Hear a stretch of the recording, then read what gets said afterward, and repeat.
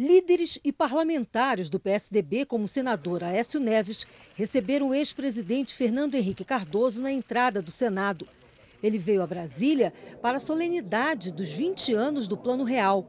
Foi como ministro da Fazenda do governo Itamar Franco em 1994 que Fernando Henrique comandou a criação das medidas que trouxeram a estabilidade econômica ao Brasil.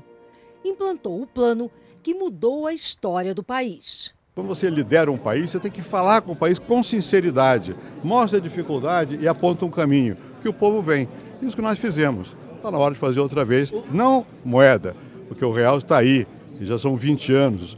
Isso é um orgulho para nós brasileiros, ter uma moeda que vale. Um plenário lotado por parlamentares e integrantes da equipe que elaborou o real, como os economistas Gustavo Franco e Edmar Baixa, ouviu o discurso do senador e presidente do PSDB, Aécio Neves, um dos autores da solenidade de comemoração do real. Nenhuma outra reforma econômica na nossa história recente foi mais transformadora do Brasil que o Plano Real, que este ano alcança duas décadas. Nunca é demais, mesmo que superficialmente, lembrar o cenário crítico que prevalecia até então. Em abril de 90, a inflação acumulada em 12 meses era de 6.821%, absoluto recorde até hoje em nossa história. Foram mais de 10 anos de inflação acima do patamar de 100%.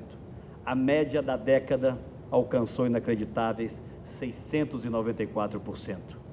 Digo isso apenas porque para as novas gerações, especialmente para elas, que nos ouvem, que não vivenciaram a ruína da hiperinflação brasileira, parece uma realidade absurda, impossível de ser associada ao país que somos hoje. Estamos prontos para retomar o nosso destino e começar a escrever, junto com os brasileiros, novas e belas páginas da nossa história. Muito obrigado.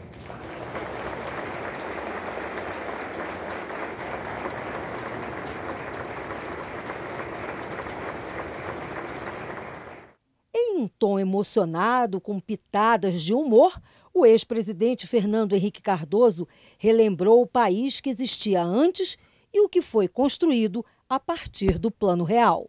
A construção de uma nação não é fruto de uma vontade isolada. Ela é um trabalho de orivesaria e que requer uma convergência de esforços. E foi isso que nós fizemos quando nos tocou o momento de enfrentar a questão da inflação. Nós não viemos do zero. Os planos anteriores ensinaram. Se os líderes não têm conhecimento das coisas, não têm ousadia e também não têm a humildade para saber que sozinho não resolvem, não avançam. Se algum papel eu tive, foi o papel de ser o porta-voz de um clamor que estava no Brasil. O Brasil não aguentava mais a imprevisibilidade gerada pela inflação. Depois da cerimônia, Écio Neves afirmou que o plano que acabou com a inflação no Brasil no passado foi o maior programa de inclusão social no país e permitiu melhorias para todos os brasileiros. E se há um ponto fundamental para essa melhoria, melhoria da condição de vida da população, melhoria das expectativas do mundo em relação ao Brasil, foi exatamente o Plano Real. Eu me orgulho muito é, de estar aqui hoje ao lado do presidente Fernando Henrique, dos principais construtores dessa extraordinária transição.